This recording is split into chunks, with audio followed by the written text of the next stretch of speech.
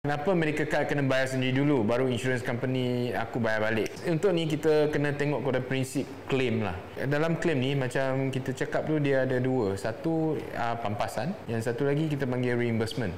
So hmm. selalunya dalam medical card ni dia prinsip dia is always as a reimbursement lah. Macam kau bayar dulu, lepas tu dapat balik bayaran tu kemudian. Okay, compensation and reimbursement. Jadi medical card kena bayar sendiri dulu. Selalunya bila medical card korang masih baru, within 120 days, uh, within first year and second year.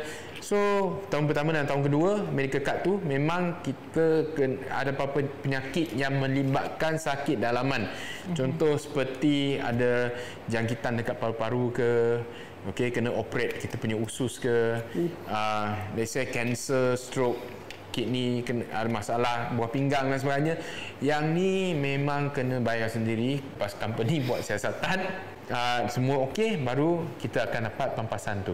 Dapat bayaran balik lah. So yang ni adalah untuk kad medical yang kita kena bayar sendiri dulu kan